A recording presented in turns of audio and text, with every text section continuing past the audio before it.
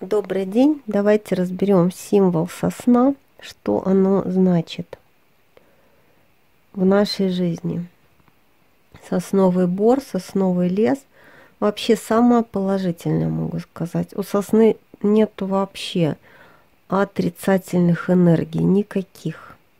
И сосна и ель не совсем одно и то же, хотя во многом они пересекаются и крайне-крайне родственные.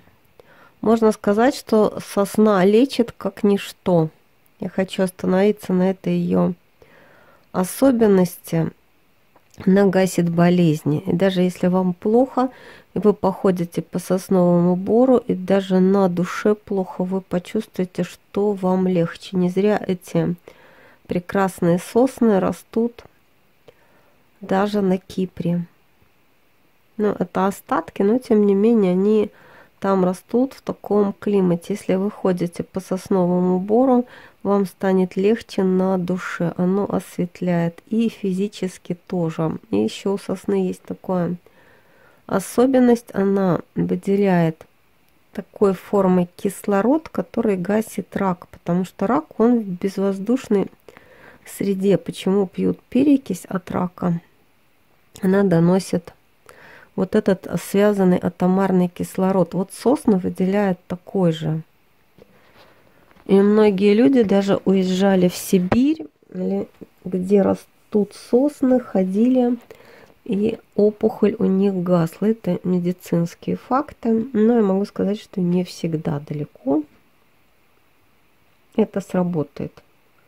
Просто дышать воздухом этого маловато, но бывали факты, что и этого достаточно. Сосна еще считается символом молодости. Те же японцы очень ценят ее. И китайцы, они практически солидарны во всем. Это молодость. Я не могу сказать, что это красота, но это стройно.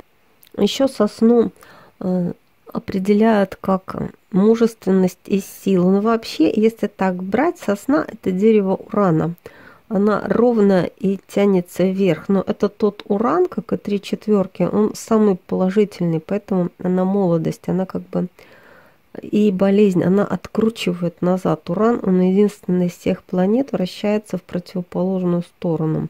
Не по часовой стрелке, а против.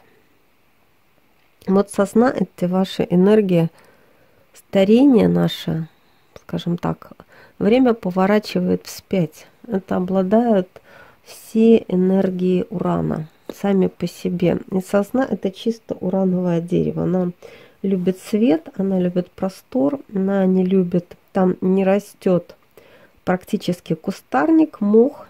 Она чистая, э, светлая такая.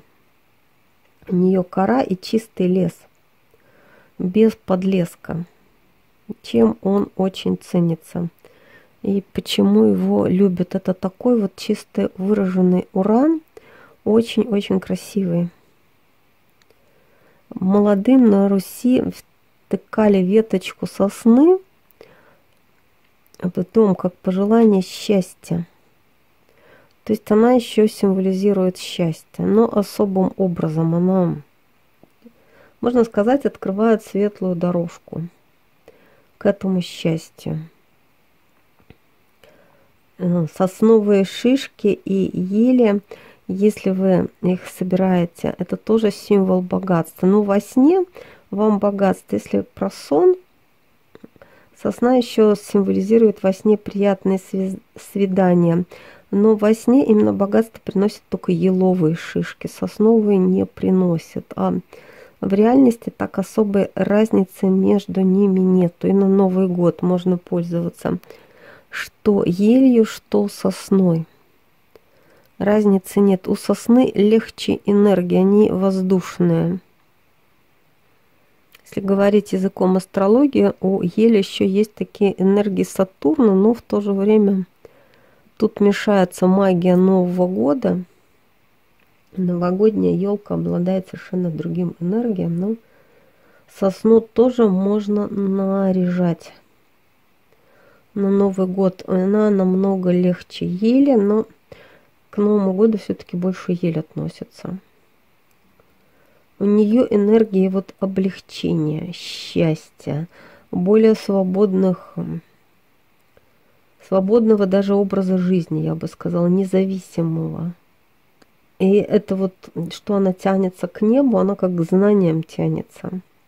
Люди, любящие сосну, еще и интеллектуалы, тянутся всегда к знаниям и к очень большим.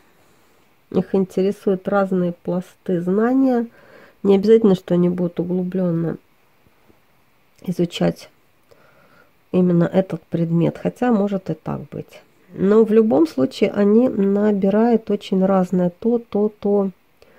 Скажем так, и культуру будут изучать вам, и, и историю, и балет, и живопись. Они очень и музыку. У них очень разные технологии, интересы у этих людей, любящих сосну. И это, пожалуй, одно из очень немногих символов, в которых вот ничего плохого нету вообще. Но вот если вам плохо и на душе все, старайтесь бывать рядом с сосной.